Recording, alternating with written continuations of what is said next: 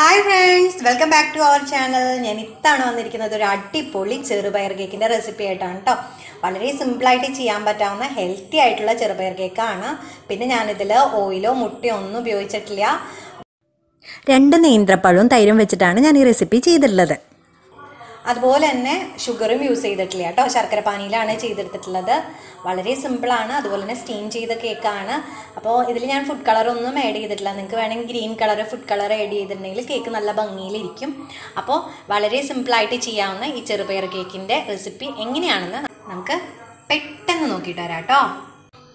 അപ്പം നമുക്ക് നമ്മുടെ ഹെൽത്തി ആയിട്ടുള്ള ആ കേക്ക് ഉണ്ടാക്കാൻ തുടങ്ങാം. അതിനായിട്ട് ഞാനൊരു മിക്സിയുടെ ജാർ എടുത്തിട്ടുണ്ട്. അതിലേക്ക് നമ്മുടെ ചെറുപയർ ഇട്ട് കൊടുക്കുന്നുണ്ട്. ചെറുപയർ ഞാൻ ഒരു ഒരു കപ്പ് ചെറുപയറാണ് എടുത്തിട്ടുള്ളത്. പിന്നെ രണ്ട് സ്പൂൺ തൈര്. തൈര് കൂടി ചേർക്കാം. ഞാൻ മുട്ട ചേർക്കുന്നില്ല. അപ്പോൾ തൈരാണ് ചേർത്ത് കൊടുക്കുന്നത്. അതുകൂടി ചേർത്ത് കൊടുത്തിട്ട് നമുക്കിത് നന്നായിട്ട് അരച്ചെടുത്തിട്ട് വരാം. ഇതിപ്പോൾ കട്ട തൈരല്ല ഇത്തിരി പുളിയുള്ള തൈരാണ്. അതുകൊണ്ട് ഞാനിത് രണ്ട് സ്പൂണേ ചേർത്ത് കൊടുക്കുന്നുള്ളൂ. അപ്പോൾ ഇത് നന്നായിട്ട് അരച്ചെടുക്കാം. അപ്പോൾ ഇതാ ഞാനിത് അരച്ചെടുത്തിട്ടുണ്ട്. ഇതിപ്പോൾ ഒന്നുകൂടി നമുക്ക് അരച്ചെടുക്കണം. അപ്പോൾ നിങ്ങൾക്ക് വേണമെന്നുണ്ടെങ്കിൽ ഇതിൽ പാൽ ചേർത്തിട്ട് അരച്ചെടുക്കാം. ഞാനിതിൽ ശർക്കരപ്പാനി വെച്ചിട്ടാണ് നമ്മുടെ കേക്ക് ഉണ്ടാക്കുന്നത്. അപ്പോൾ ശർക്കരപ്പാനി കുറച്ച് കുറച്ചായിട്ട് ഒഴിച്ചു കൊടുത്തിട്ടാണ് ഞാൻ ഇത് അരച്ചെടുക്കുന്നത്. ഞാനൊരു കാര്യം പറയാൻ വിട്ടോയി ഞാൻ ചെറുപയർ കുതിർത്തി വെച്ച ചെറുപയറാണ് കേട്ടോ ഞാൻ ചൂടുവെള്ളത്തിൽ ഒരു മൂന്നാൽ മണിക്കൂർ കുതിർത്തി വെച്ചിരുന്ന ചെറുപയറാണ് ഇങ്ങനെ അരച്ചെടുത്തിരിക്കുന്നത്. നിങ്ങൾ ചെറുപയർ എടുക്കുമ്പോൾ ഒരു നാല് മണിക്കൂർ വെള്ളത്തിൽ കുതിർത്ത് വെക്കുക കേട്ടോ അപ്പോൾ അത് ഞാൻ പറയാൻ വിട്ടുപോയതാണ്. അപ്പോൾ ഇനി ഇതിലേക്ക് കുറച്ച് കുറച്ചായിട്ട് നമുക്ക് ശർക്കരപ്പാനി ഒഴിച്ചു കൊടുത്തിട്ട് അരച്ചെടുക്കാം. നിങ്ങൾക്ക് പഞ്ചസാര ചേർത്തെടുക്കണമെങ്കിൽ ഇതുപോലെ ഫൈനായിട്ട് അര അരച്ചിട്ട് പിന്നീട് നമ്മൾ പഞ്ചസാര പൊടിച്ചത് ചേർത്ത് കൊടുത്താൽ മതി. അപ്പോൾ ശർക്കര ആകുമ്പോൾ കുറച്ചും കൂടി ഹെൽത്തിയാണ് പഞ്ചസാരയേക്കാളും. അതുകൊണ്ടാണ് ഞാൻ ശർക്കര ചേർത്ത് കൊടുക്കുന്നത്. അപ്പോൾ നമുക്ക് ശർക്കരപ്പാനി കുറച്ച് ചേർത്ത് കൊടുക്കാം. അപ്പോൾ ഇതാ ഞാൻ കുറച്ച് ചേർത്തിട്ട് ഒന്ന് അരച്ചെടുക്കുന്നുണ്ട്. കുറച്ച് കുറച്ചായിട്ട് ചേർത്ത് അരച്ചെടുക്കാം. അപ്പോൾ നന്നായിട്ട് ശർക്കര പാനി ഞാൻ ഒരു ഇപ്പോൾ ഇതിൽ ഏകദേശം ഞാൻ ഒരു ഗ്ലാസ് അതായത് ഒരു ഗ്ലാസ്സിലാണ് ഞാൻ ഇപ്പോൾ എല്ലാം അളന്നെടുത്തിട്ടുള്ളത്. ചെറുപയറായാലും എല്ലാനും. അപ്പോൾ ഞാനിപ്പോൾ ശർക്കര പാനി എടുത്തിട്ടുള്ളത് നമ്മുടെ മധുരത്തിനനുസരിച്ച് ഒരു മൂന്നഞ്ച് ശർക്കര ആണ് ഉരുക്കിയെടുത്തിട്ട് അരിച്ചെടുത്തതാണ് അരിച്ചെടുത്തിട്ടുള്ള പാനിയാണ്. അപ്പോൾ അത് കുറച്ച് കുറച്ചായിട്ട് ഒഴിച്ചു കൊടുത്തിട്ട് നമുക്ക് അരച്ചെടുത്തിട്ട് വരാം. അപ്പം ഇതാ നമ്മുടെ ശർക്കര പാനി ഒഴിച്ച് ഞാനിത് അരച്ചെടുത്തിട്ടുണ്ട്. അത് ഞാൻ ദാ ഇങ്ങനെ ഒരു പാനിലേക്ക് ഒഴിച്ചു കൊടുക്കുന്നുണ്ട്. ഇനി ഇത് ഇതിലേക്ക് നമുക്ക് ഡ്രൈ ഇൻഗ്രീഡിയൻസ് ചേർത്ത് കൊടുക്കാം. അപ്പോൾ ഞാനിവിടെ ഗോതമ്പ് പൊടിയാണ് ഇതിലേക്ക് ചേർത്ത് കൊടുക്കുന്നത്. അപ്പോൾ നമ്മുടെ പഴത്തിന് മധുരമുണ്ട്. അപ്പോൾ നമുക്ക് ആവശ്യത്തിന് മധുരം വേണമെന്നുണ്ടെങ്കിൽ ശർക്കരപ്പാനി കുറച്ച് കുറച്ചായിട്ട് ചേർത്തിട്ട് നമുക്ക് മിക്സ് ചെയ്തെടുക്കാം. അപ്പോൾ ഞാൻ ദാ ഗോതമ്പ് പൊടിയാണ് ചേർത്ത് കൊടുക്കുന്നത്. അപ്പോൾ ചെറുപയർ അളന്നെടുത്ത അതേ ഗ്ലാസ്സിൽ തന്നെ ഒരു ഗ്ലാസ് ഗോതമ്പ് പൊടി ചേർത്ത് കൊടുക്കുന്നുണ്ട്.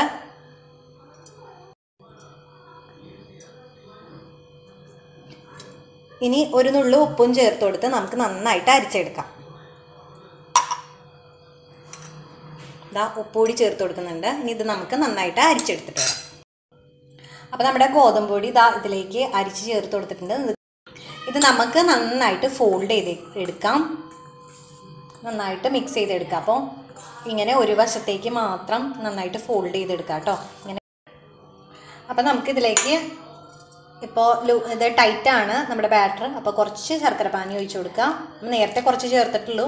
അപ്പോൾ കുറച്ച് ശർക്കര പാനി ഒഴിച്ചു കൊടുത്തിട്ട് നമുക്ക് വീണ്ടും ഒന്ന് മിക്സ് ചെയ്ത് കൊടുക്കാം. പിന്നെ നിങ്ങൾക്ക് വേണമെന്നുണ്ടെങ്കിൽ പാൽ ചേർത്ത് കൊടുക്കാം കേട്ടോ. ഞാനിവിടെ പാൽ ചേർക്കുന്നില്ല. അപ്പോൾ നമ്മുടെ ബാറ്റർ ഇവിടെ റെഡി ആയിട്ടുണ്ട്. ഇനി നമുക്ക് ഇതിലേക്ക് ബേക്കിംഗ് പൗഡർ ചേർത്ത് കൊടുക്കാം. ഒരു മുക്കാൽ സ്പൂൺ ബേക്കിംഗ് പൗഡർ ചേർത്ത് കൊടുക്കുന്നുണ്ട്. അതുപോലെ തന്നെ അര ടീസ്പൂൺ ബേക്കിംഗ് സോഡ ചേർത്ത് കൊടുക്കുന്നുണ്ട്. അര ടീസ്പൂൺ ബേക്കിംഗ് സോഡ ഇനി ഇത് നന്നായിട്ട് നമുക്ക് മിക്സ് ചെയ്ത് കൊടുക്കാം. ഒരു സൈഡിലേക്ക് മാത്രം. ഓവർ മിക്സിങ് വേണ്ട. ഒരു സൈഡിലേക്ക് മാത്രം നന്നായിട്ട് മിക്സ് ചെയ്യാം. അപ്പോൾ ബേക്കിംഗ് പൗഡറും ബേക്കിംഗ് സോഡയൊക്കെ ചേർത്ത് നന്നായിട്ട് മിക്സ് ചെയ്തെടുത്തിട്ടുണ്ട്. ഇനി ഇതിലേക്ക് നമുക്ക് ഒരു ഫ്ലേവറിന് വേണ്ടിയിട്ട് വാനില എസൻസ് ചേർത്ത് കൊടുക്കാം. ഞാൻ ഒരു അര ടീസ്പൂൺ വാനില എസൻസ് ചേർത്ത് കൊടുക്കുന്നുണ്ട്. ഒന്നുകൂടി ഒന്ന് മിക്സ് ചെയ്തെടുക്കുക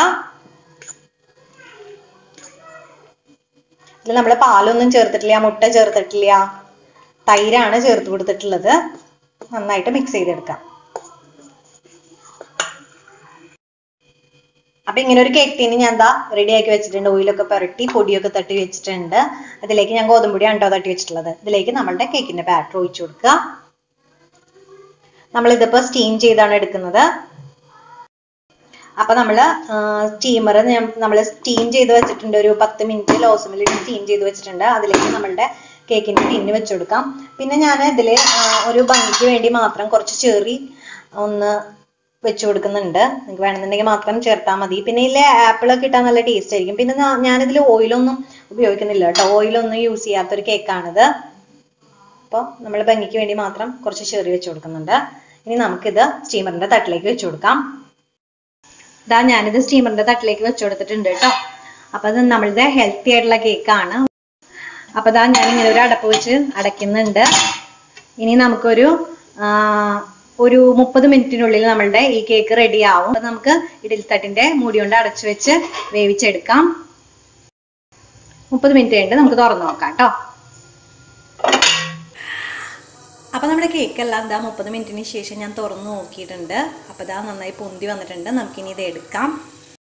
അപ്പൊ നമ്മുടെ കേക്ക് ഇതാ ചൂടാറിയതിന് ശേഷം ഞാൻ എടുത്തിട്ടുണ്ട്. നല്ല പെർഫെക്റ്റ് ആയിട്ട് വന്നിട്ടുണ്ട്. ഞാനിതിൽ ഓയിൽ ചേർത്തിട്ടില്ല മുട്ട ചേർത്തിട്ടില്ല. അപ്പൊ നല്ല ഹെൽത്തി ആയിട്ടുള്ള കേക്കാണ് പഞ്ചസാര ചേർത്തിട്ടില്ല. അപ്പൊ അതാ ഞാനിത് കട്ട് ചെയ്ത് നോക്കുന്നുണ്ട് എന്റെ മോളുണ്ട് എന്റെ കൂടെ.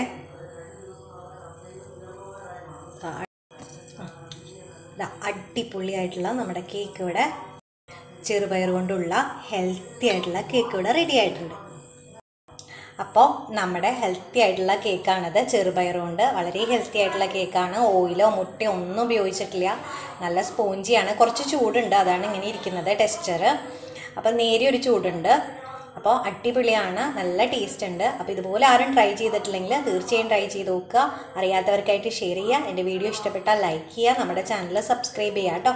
അടുത്തവണ നല്ലൊരു റെസിപ്പി ആയിട്ട് നമുക്ക് വീണ്ടും കാണാം. അതുവരേക്കും എല്ലാവരും ഹാപ്പി ആയിട്ടും ഹെൽത്തി ആയിട്ടും സേഫ് ആയിട്ടൊക്കെ ഇരിക്കുക. Take care friends bye